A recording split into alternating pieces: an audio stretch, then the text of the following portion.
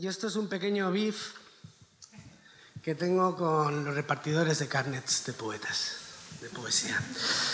Se llama Diferentes indignorancias que pueblan mis hablas. Minúsculo en mi tamaño, busco la luz con la que escribir el humilde legado de las voces sencillas.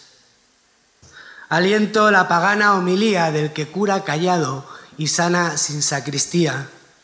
Entre el barro y el borrador os muestro mis torpes intentos. Entre el arcén y la arcilla moldeo piel y caricias. Entre el hierro y el error cultivo un jardín de saliva donde juego con el suelo a las caídas.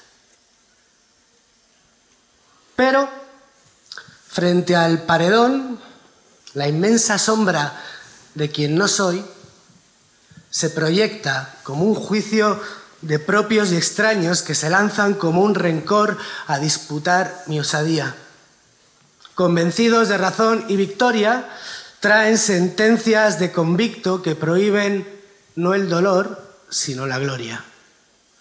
Así vienen sabios con precisión de sable a avisarme del abismo, desbrújulos guiandantes a arrojarme, criticeros de sumas que me arrestan, recaudales de formalidad sin fondo, clientelectuales que dicen paga y escuchan cartera, y elitiristes de salón sin bellezas y estólogos de ronquidos por convicción, apológicos del ranciocinio, envidiotas del tuno, vanidioses de la afrenta, demagóngoros que venden el don de la impoluta careta, publicristos de pobreza al por mayor, eruditos de corseses y marionetas, fanfarrones sin plaza ni botellón, gritotécnicos, exaltares de callar calles y alzar la coz, en decansinos señaliados, asiodeadores impolutos, aterratenientes de lo simple, reincirientes que se apegan a pegar puños y borrar letras, censauros de un desierto que anhelan pusilánime, sin ánimo pero sin lucro,